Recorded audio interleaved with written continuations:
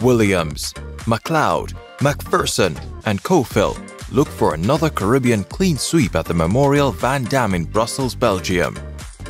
The Caribbean women have been the most dominant in the 400 meters on the Diamond League circuit this season, with most of the races being won by athletes from the region, including Olympic champion Shaunae Miller-Uibo of the Bahamas and Olympic World Championship silver medalist Marileidy Paulino of the Dominican Republic.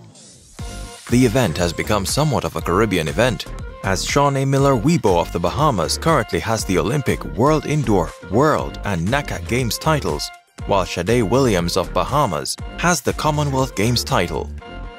After winning the NACAC Games title, Miller-Uibo decided to end her season, which led to Paulino holding off a fast-closing Sada Williams to win the Athletissima Diamond League in Lausanne, Switzerland. Paulino has been undefeated on the Diamond League circuit, but she has decided not to focus on this Diamond League meet in Brussels. But with the absence of both Miller-Uibo and Paulino, a Caribbean clean sweep is still possible in the event. World Championship bronze medalist Sada Williams looks to be the favorite because of her running below the 50 seconds barrier four times this season. These times include a national record of 49.75 seconds, 49.86 seconds, 49.90 seconds, and 49.94 seconds.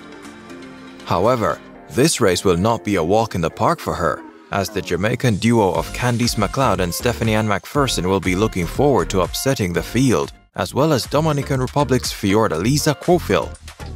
This race looks to be quite a swift one, but the 2009 meet record of 49.83 seconds, held by Jamaican-born former American athlete Sanya Richards-Ross, looks to be safe.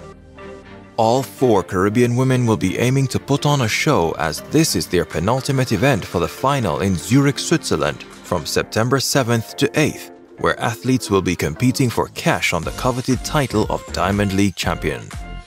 Please like, share, and subscribe to our channel and turn on the notification bell for our next video.